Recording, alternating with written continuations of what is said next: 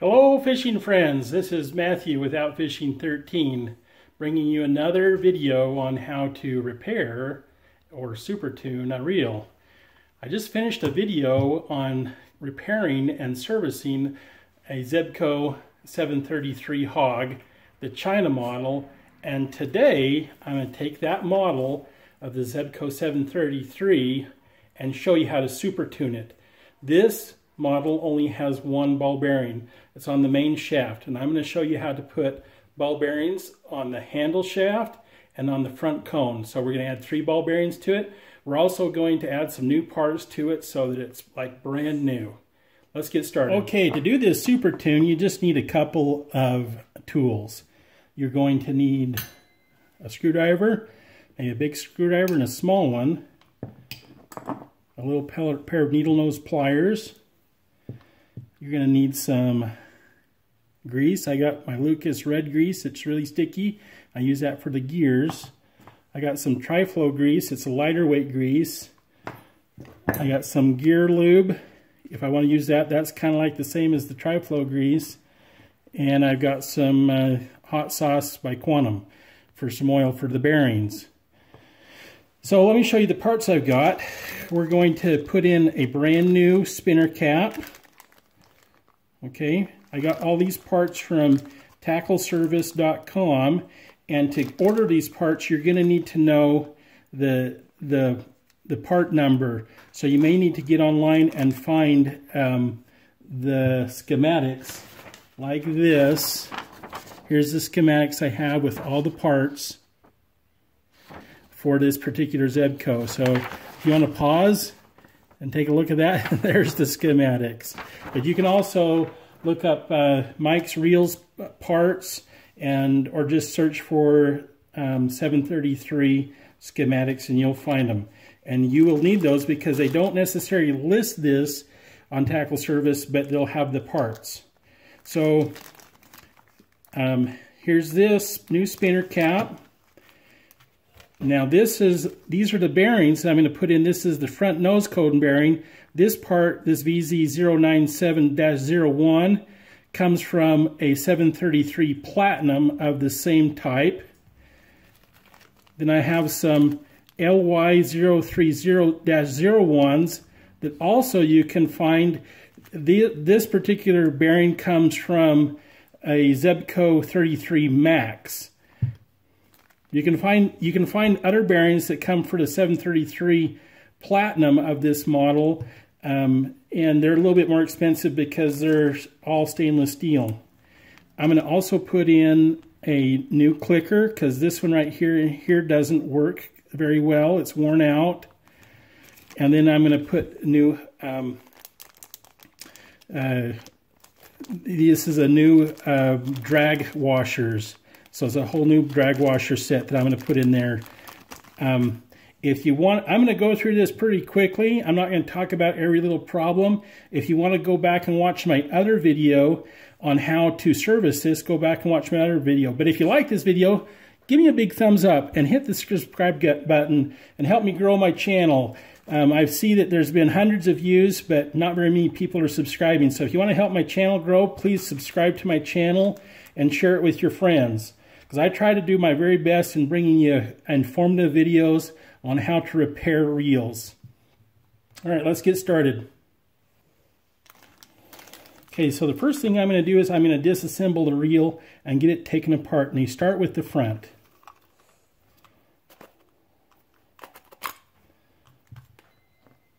So this reel has already been all serviced and is nice and clean.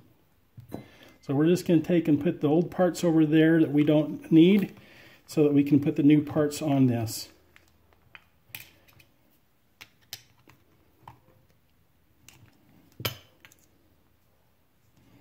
We to save that, but we don't need this anymore.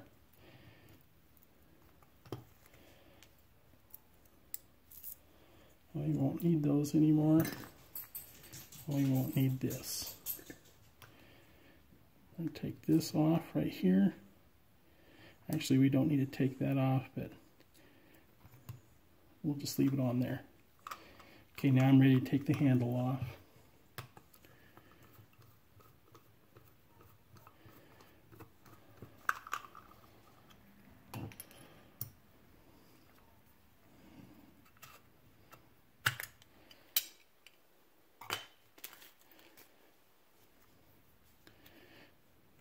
I don't need to take that out, so I'm not going to worry about that. Now, one of the things I wanted to replace is I wanted to replace this little wedge bearing um, retainer. And unfortunately, Zebco no longer carries that part.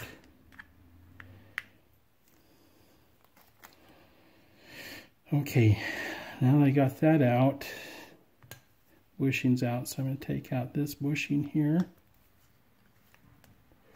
Just push it out.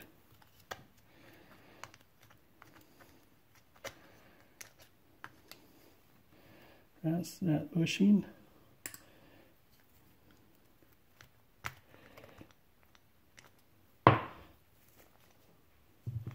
There's that bushing.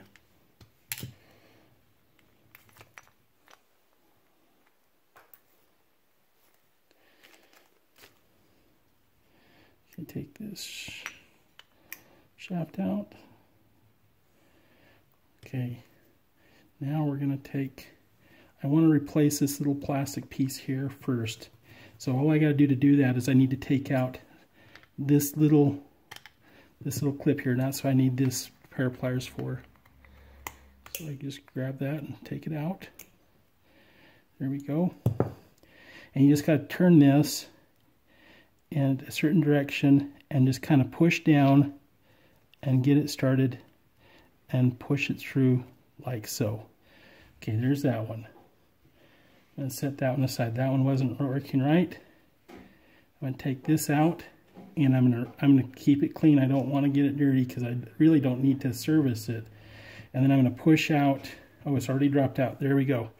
So now I'm ready to, I'm going to put this little piece back in there this new clicker.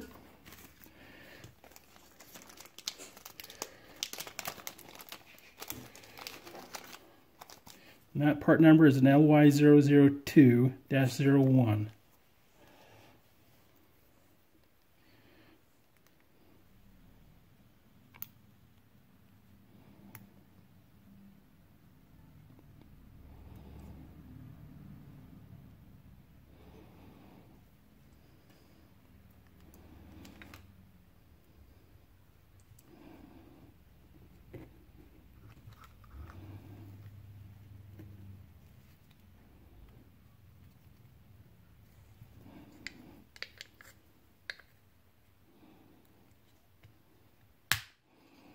Okay, there we okay, go. Okay, now that I have that in there, I'm just going to apply a little bit of oil to it.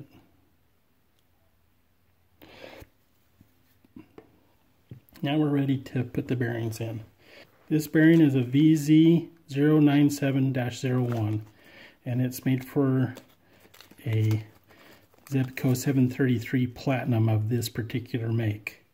So I want to, um, I'm actually going to take a couple of these bearings out and add oil to them so that the oil can start soaking in. So let's put the oil in there because these are a shielded bearing. I want the oil to really soak in there. Okay. I'll put this bearing in here. It fits perfectly. And now we're ready to put this bearing back in there. I don't need to do anything with this. I've already greased it all up. Just need to put it in there. Okay, we're ready to put this back in there. Again, I've already greased this all up so it has all the lube on it that it needs.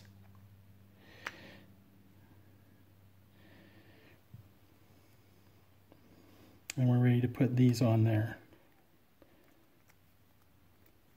One of the tricks that I've learned is when you're putting these bearings in, so you don't have to push against the bearing, is take your bushing and put your bushing in, then take your your handle screw and push it in there to seat it.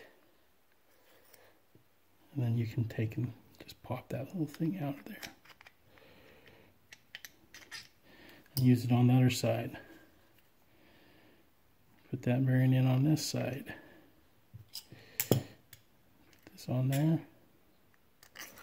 Push in there and seat this one in there. Pop that one out.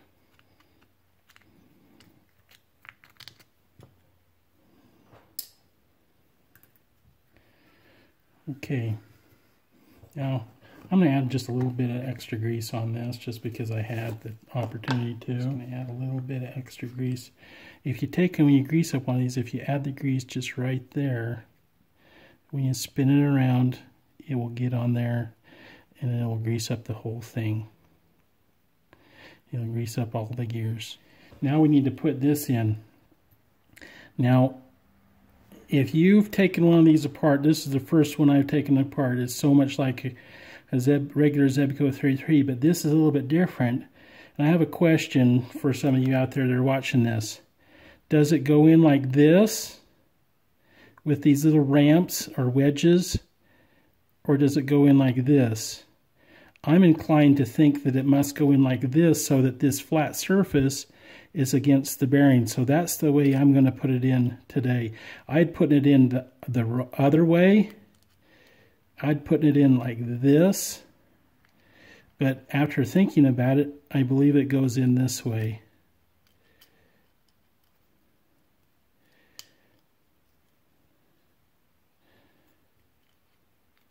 Not this way.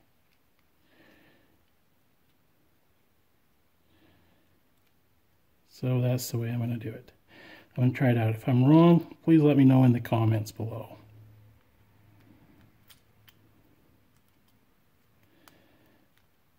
Okay, and this has a spring in it, and what it's supposed to do is it's supposed to tighten up against this and push it over and and tighten it up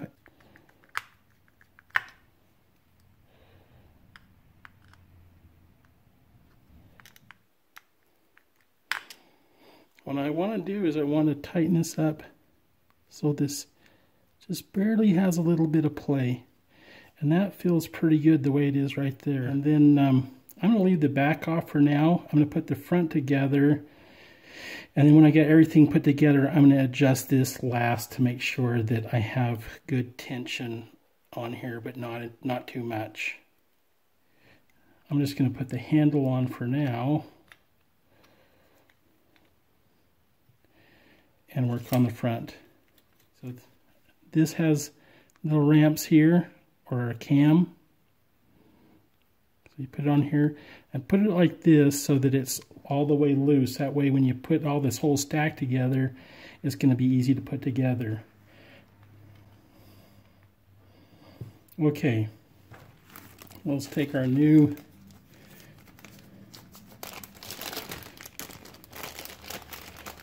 set of washers.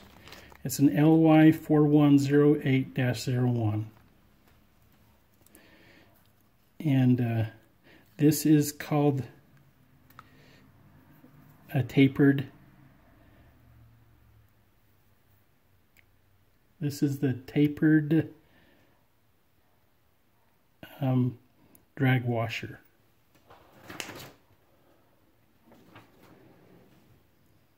Okay, and it's gonna go this right here is the spring washer. For some reason that's interesting because the spring washer on this old set didn't have a key on it. We're going to use the old one and leave this one out. This is the part where we need to grease everything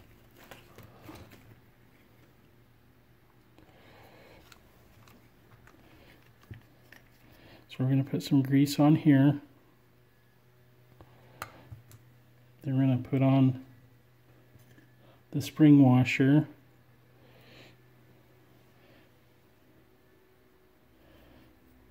And then we're going to grease that.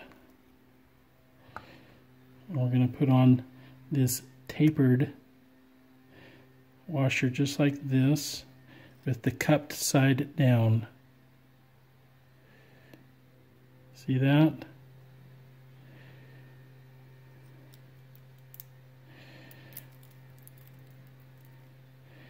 Then we're going to put on some grease.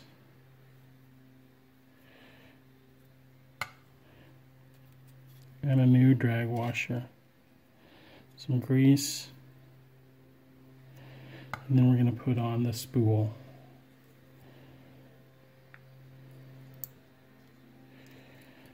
Then we're going to put some grease on here. And then another new drag washer. And then we're going to put on some grease. And then one of these keyed washers. Now, realistically, um, the one that's on there, the old one, is just fine. So I'm going to put on the old one.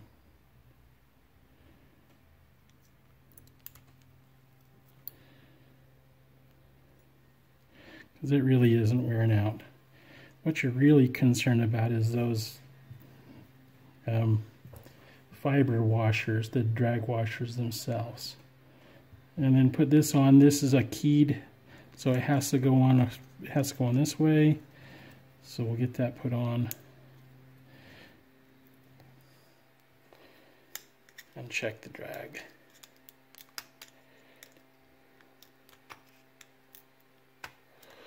Get that in the keyway right there. That drag is all the way on low and it works great.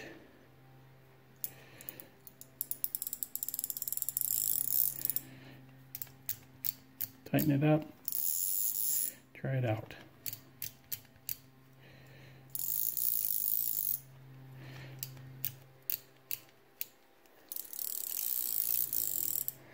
Yeah, that's working really well. Yeah. I'll just put it on low for now.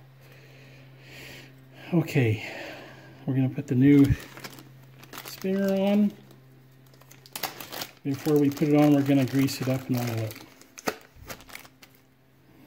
So it just comes with, without any grease on there, we want to make sure that we get some lube underneath these cams here.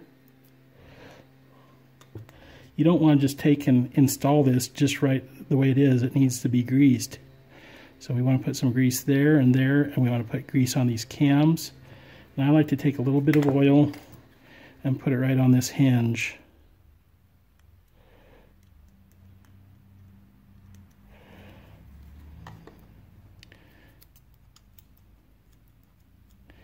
Okay.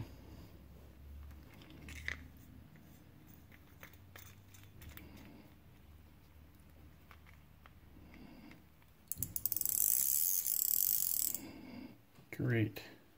Looks good.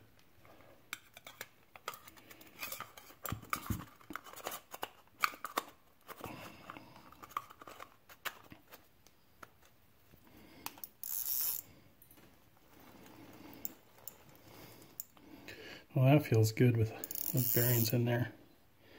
Okay. What I want to test is I just want to make sure it's got a little bit of play. So I'm just going to leave it like that. It's perfect. All right. So last thing to do is to put the back on and we're done.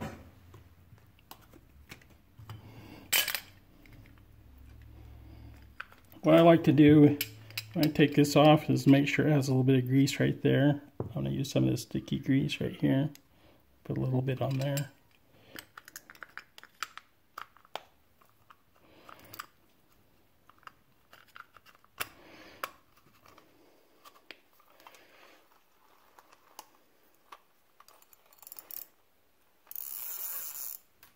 All right, that works really well. Let's try the clicker. Okay. Yeah, that's much louder. Your bait alert. And the anti-reverse is working really well.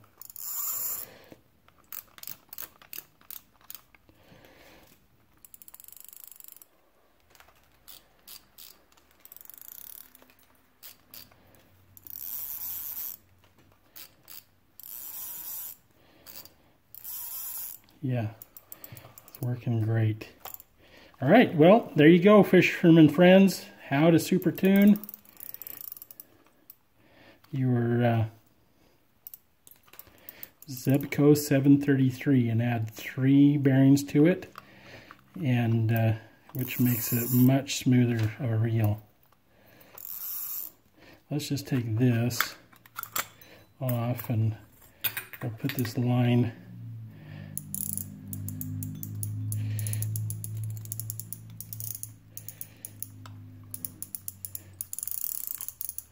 just going to put this line right through here so we can spin it, give it a good spin test.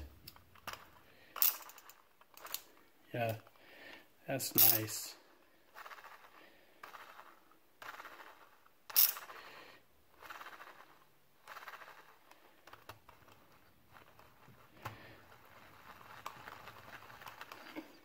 A great reel. Anyways, if you enjoyed my video, please give me a big thumbs up and make sure you subscribe and hit the notification bells. That'll really help my channel grow. Thanks and have a great day. Bye.